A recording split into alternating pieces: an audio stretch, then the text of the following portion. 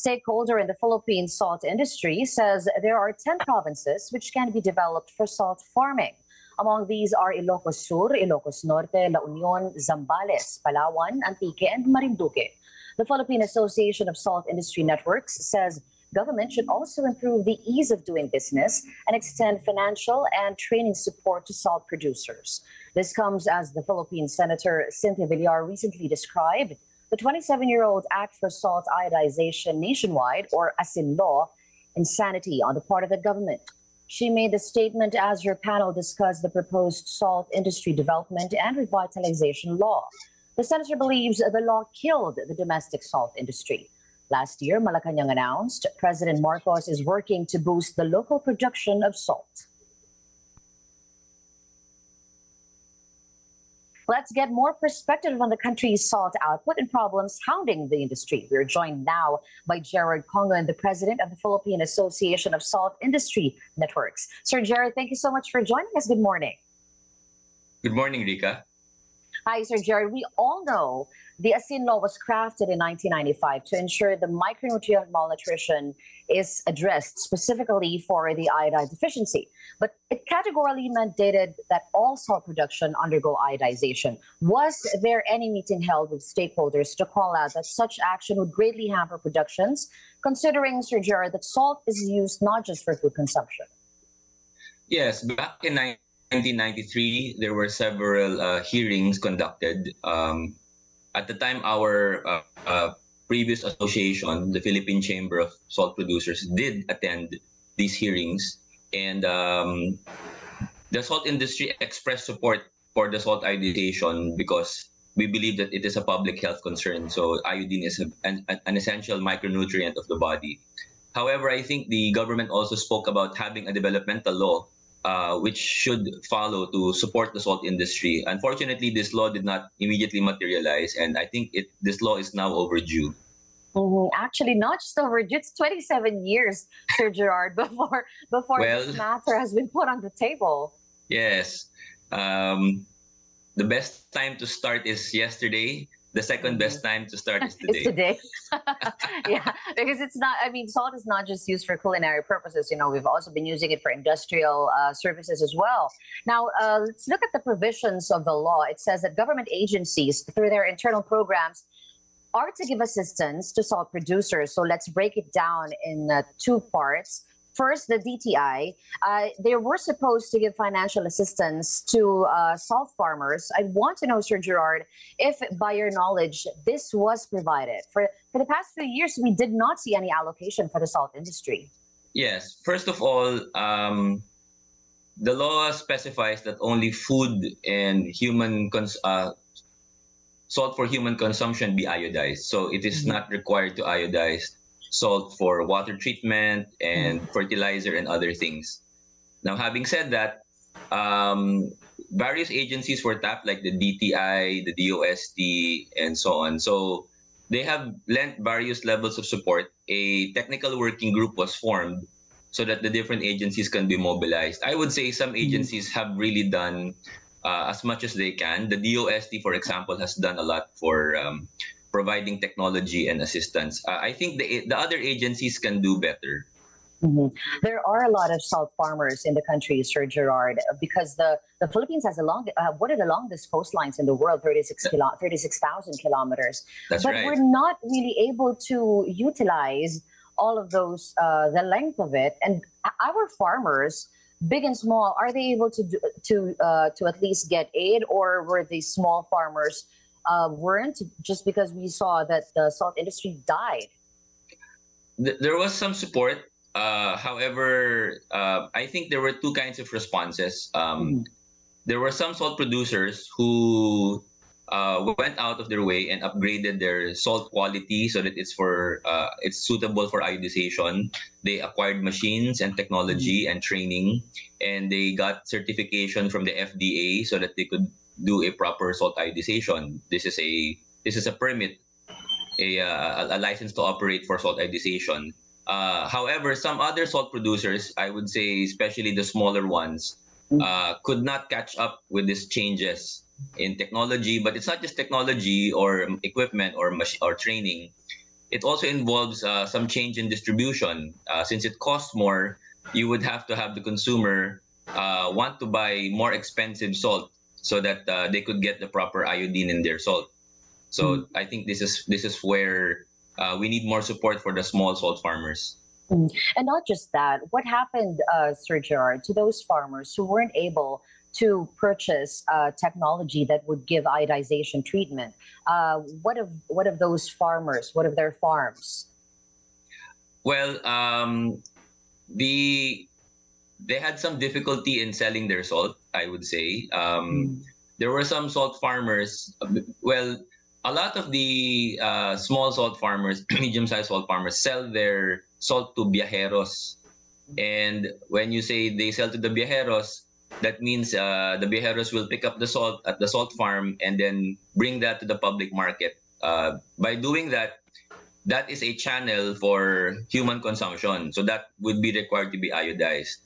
Mm-hmm. So uh, there were other ideas that said, let us uh, allow the cooperatives to form so that uh, salt farmers that could not do their own iodization can sell to cooperatives and the cooperatives can now do the iodization and sell that to the markets. Um, uh, there were some support from the CDA, but it's it's really a private sector. It, I would say the salt farmers must also take initiative if they want to form cooperatives. So th- these did not materialize. So I think I think we can do better this time around. Mm-hmm. Are you are you saying, Sir Gerard, that uh, the Cooperative Development Authority they were supposed to assist small farmers to making cooperatives? They weren't able to assist them because small farmers weren't doing uh, at least the, uh, their parts on their end. I think the CDA was present. They were available mm-hmm. to assist. Uh, they were mm-hmm. present during uh, technical working group meetings and so on. However, uh, you can't force people to form and organize. Yeah they must find the reason to do so. So I think um, this time around, uh, a more inclusive approach for salt farmers uh, would help.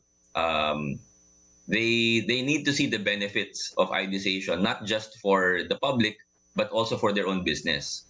Mm-hmm. So that's I think that's the direction we're looking for now. More incentives in this area, and I think more direct assistance would be in uh, would would be uh, called for.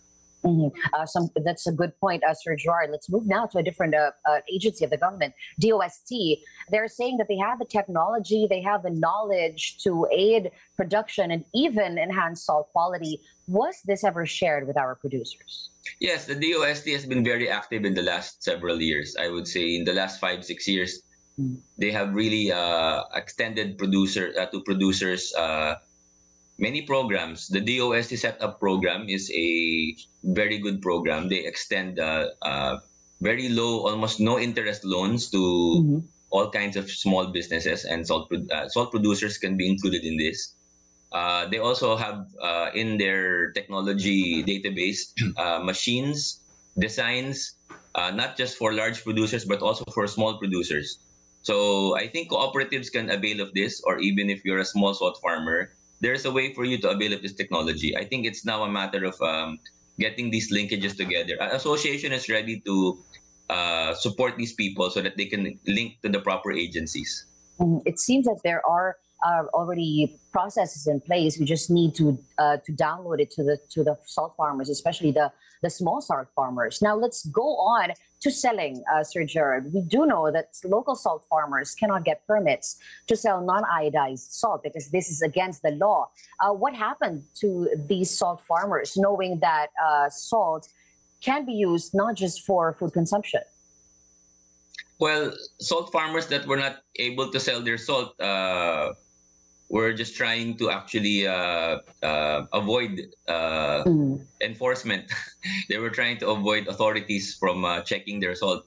So I would say uh, some of the salt still finds its way into the uh, into the market. So they would be later shown to be non-iodized. Um, mm-hmm. If you have enough enforcement going around and they could really not catch up, you could see that their motivation for doing the business is um, greatly greatly reduced so that's that that would say i would say that contributed to some decline of the industry Mhm. Speaking of uh, violations, selling of non-iodized salt is a violation in the law. Uh, but uh, we see this, we see a lot of this proliferating in wet markets. You know, the local markets. Uh, we we actually have them at cheaper price than the iodized salt. Um, I was wondering, Sir Gerard, the LGU actually has the mandate to stop this, to seize uh, selling of non-iodized salt. Do we really see this happening? Yes, it was happening in many many years. Uh, the the the uh, sanitary inspectors uh, in in the LGU areas they are mandated to check the quality of iodized uh, if the salt is indeed iodized using testing kits. Mhm. So that's their that's their role. We understand that. Mhm, mhm. Okay, now the uh, the selling of uh, uh, the selling of non-iodized salt is actually illegal. We mentioned that earlier. But salt, as also mentioned earlier, is not just used for food consumption. Third grade salt is used for uh, cold storage. Second grade salt is used for uh, food preservation. If the law mandates that all salt production in the Philippines is supposed to be iodized, where are we getting the salt used for these kind of production? Some local salt producers are able to sell for these markets. Um, some would sell for, uh, I would say, animal uses or fish Mhm. pond. But uh, since majority of the salt, 93% is imported, actually, for a lot of these uses, uh, ice plants and so on, refrigeration, they're already coming from salt that's imported from abroad. Yeah, so that's uh, that's the hard part of uh, what we're seeing now is because we have a lot of salt producers who cannot sell their non-iodized salt for this specific use. Now let's look at the the export products. This is going to be greatly uh, this is going to be greatly affected by the law because some countries are not accepting uh, food items that are uh, that non non-natural salt is used, non-iodized salt is used. They're actually wanting that natural salt be used for the items that they're going to be purchasing. Do you have any numbers, Sir Gerard, of how much we're losing on this sector? Uh, the export market, well, the Asian export market is about 20 million tons. Uh, but uh, I think only a small part of that, maybe a quarter, I would say four to five million tons, is really for human consumption. Mhm. Uh, Philippine uh, sea salt is very good in flavor. I think many chefs would agree with that statement. And uh, if we get our act together and uh, work together with all the stakeholders, uh, the lawmakers and salt producers, the academe, uh, the aid government agencies, we will be able to become self-sufficient and even export. Uh, we think that there's a huge export market, and the Philippines, with its long shoreline, uh, can make that potential happen. Mhm. Uh, just a couple more, sir, before I let you go. Committee hearings, not just this, uh, this uh, what's happening this week, but also months back, we've unearthed that no agency is actually in charge of overseeing the salt industry. Is it high time for the president to finally appoint a secretary for the Department of Agriculture? Well, I think uh, the president is in the best position to uh, decide whether he wants to continue holding that uh, Mhm. responsibility or he would want to appoint the secretary. I, I'm not uh, in a position to say that. But what I can say is um, uh, the BFAR has already uh, taken uh, the uh, uh, responsibility. They have said that they will take charge this time around, and um, they will now make it part of their mandate. They have put a budget, and we very much appreciate these efforts. Mhm. Moving forward, Sir Gerard, what should the government focus on? Where and how do we start the revitalization of the salt industry? I think we're in the right step. Um, the salt industry has provided the government with the Philippine Salt Industry Roadmap, which spells out what we think are the necess- necessary steps for our salt industry to be revived and to have a positive growth trajectory. Uh, Mhm. Right now, the concern of our lawmakers is to figure out how to reconcile iodization and how to still help the salt industry grow once more and make the country self-sufficient.